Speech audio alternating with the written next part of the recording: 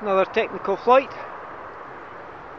There's the power lines there, but there's multiple ones, and that's the landing option just above the road in the roundabout for the end of the Tay Road Bridge and the car park. I've never actually flown over there yet, but once again, I didn't really have a height that I was happy with. Even in bright sunlight where you've got much better definition, you really want to have that plus three on top and you go over at the bend.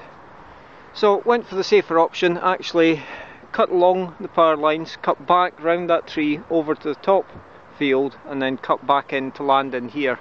Giving me plenty of option to get down. I could easily burn all the height with the upslope there, so very safe option. Uh, aircraft coming into Dundee, from look of it.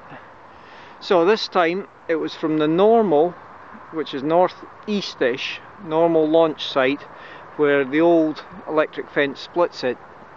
Launched from there, worked the lift round, worked the lift off the various cliff faces, decided not, just not quite enough, and in for a safe landing.